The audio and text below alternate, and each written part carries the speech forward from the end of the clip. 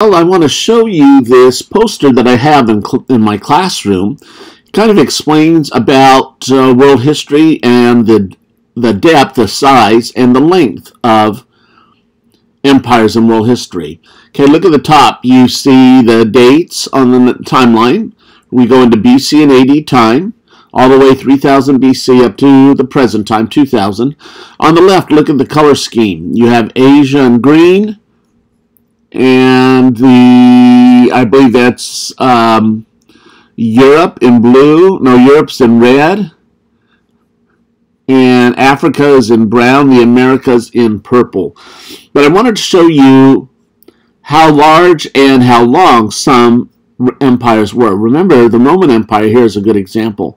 They had a little bit of Asia, Jerusalem, and they had most of Europe, they had also had a little bit of Africa, but I guess it would take all of Europe here, so it didn't go all the way over. But the Roman Empire also had a little bit of Africa. But look at the length.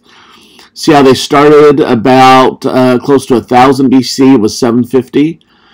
Started small around the Greek lands, and then they got large, and then they split into two. And this is where we have the Byzantine Empire, which is still formed the Roman Empire in blue. Now remember, they were huge at one point. They even took over half of the Roman Empire that had collapsed. But then they fell apart. In the meantime, they're taken over by the Ottomans. The Ottomans get larger. Remember, in Western Europe, then we had the Holy Roman Empire.